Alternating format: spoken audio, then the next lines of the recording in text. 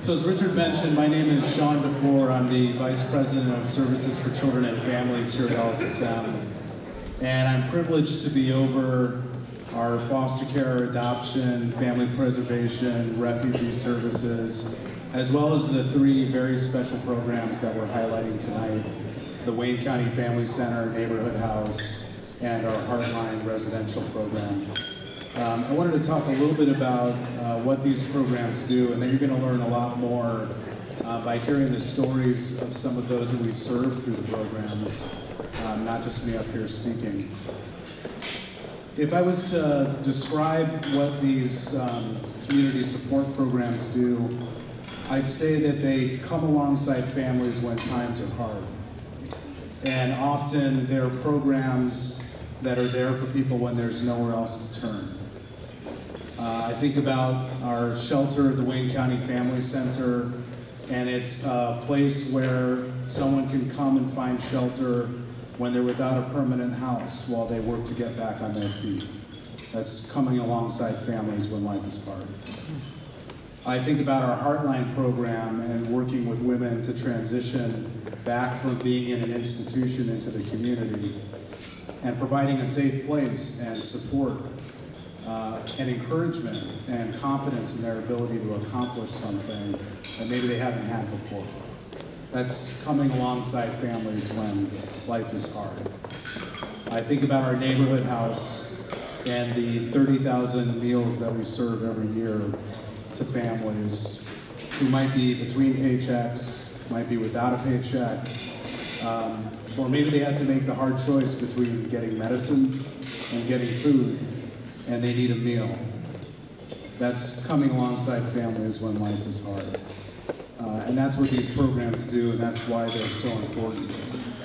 Uh, when I think about the future of our work, and Mark talked a little bit about our desire to serve the whole person through a continuum of care in their natural setting, I think I see these three special programs coming alongside families when life is hard in a much deeper way and in a much com more comprehensive way with a much longer lasting impact. And I want to talk a little bit about what that looks like. Um, when I talk about a continuum of care, uh, I talk about providing an array of services. Let's take Neighborhood House, for example, um, to a young child or a family that goes beyond just the hot meal that they're receiving.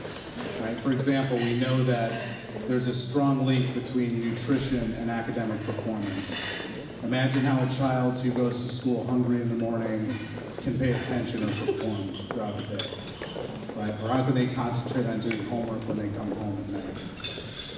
Um, I think it's incumbent upon us at Neighborhood House not just to provide that hot meal, not just to read to them so they improve their literacy skills, not just to provide them a safe haven where they can partake in, in recreation in a safe place.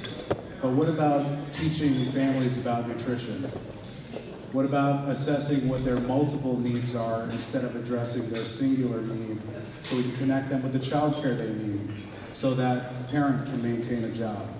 Maybe get job skills training or a GED so they have more opportunity right? Maybe connected with mental health resources so we can address the mental health issue that maybe keeps them on the edge and keeps them at risk.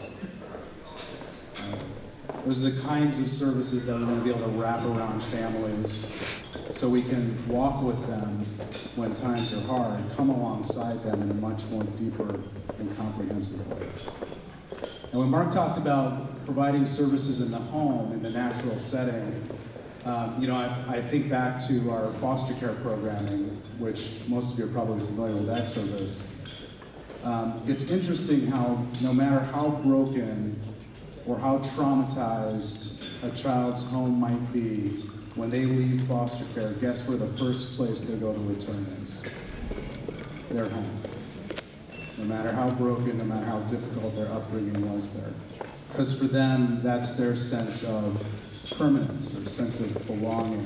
That's their counterpoint to the outside world, right? Um, when I say the word home, I get this visceral reaction. I, I get this feeling like I imagine you all do when you think about home.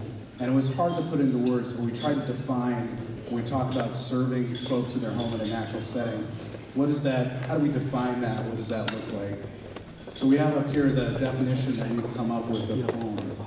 So it's the place where an individual experiences a sense of permanence, has a magnetic pull.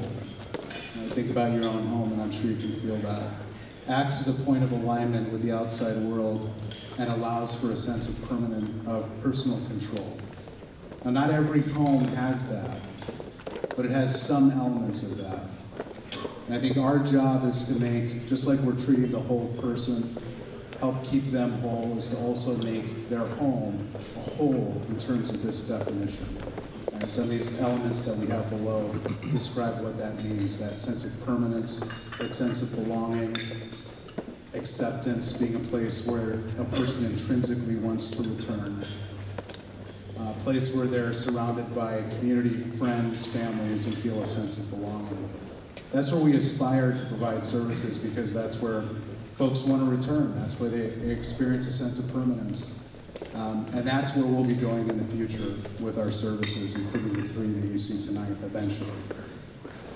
So without further ado, that's my little introduction to our community support programs. I see I killed the dessert line, so I won. Take that, dessert. Okay, I'd like to um, start with our Heartline uh, residential program, and I want to invite up uh, the director of our program, very special um, young lady, Mary Ellen White. Sister Mary Ellen White. She's going to tell you a little bit um, about Heartline, and then we're going to show you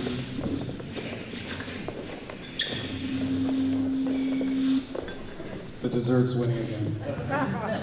Uh, she's going to tell you a little bit about Heartline, and then we're going to show you a video about the Heartline program. And then you'll hear from one of the folks that's actually been a beneficiary of our services there. Good evening. Um, I'm glad to be here this evening. Heartline is a residential program for women on the east side of Detroit. We're in the Mack and Van Dyke area. And uh, we ha have room for 33 women.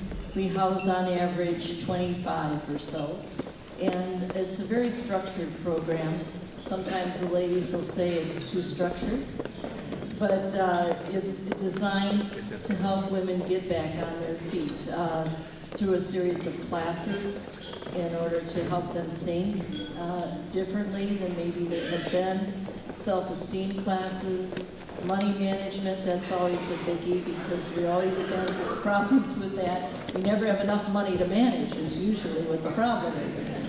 But, uh, and the women that are, say, are, are going to save for housing, they have to save 60% of their net pay once they start working, which they, they sometimes they'll say, well, I'll save $10. And I'll say, well, you're going to be 92 by the time you move out, you know. So um, they have to save 60% of their money towards their housing. And we help through many donations from persons like yourselves of household items and monetary donations to help them to get a place of their own. Uh, we don't help with rent, uh, but we do help with personal items and, and, things like almost like setting up a college dorm again and that. So uh, as um, I, I'm gonna, I don't want to take up all the time because Catherine is a much better speaker than I am. So, and you want to see the video.